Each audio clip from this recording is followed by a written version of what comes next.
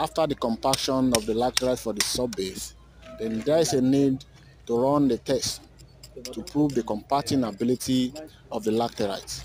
Then in this case, the test called in situ density test will take place. Whereas you're seeing all kind of material used here in this video to run the test.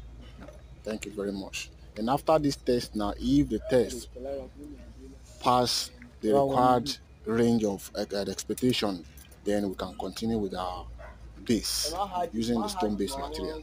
Thank you very much. No, we No, go no, no. weigh the empty for you. Or we go tie and we go zero the, Yes. co- the container.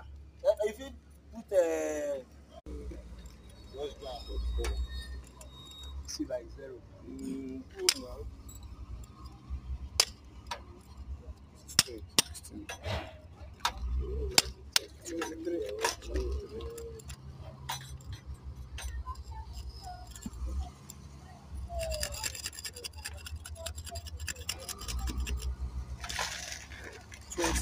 That's 20.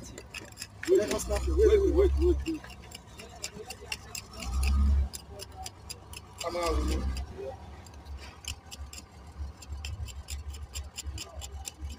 Get the cupboard. Cupboard. Cupboard. Oh, cupboard. Cupboard.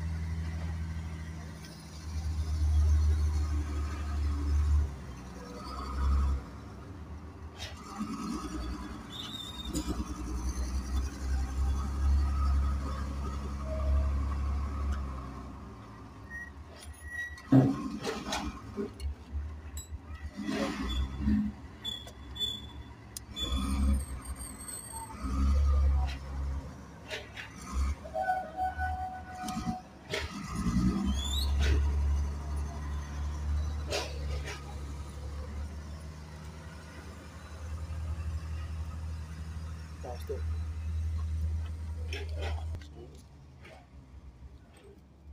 Beautiful. One, two, six, three. One, two, six, three.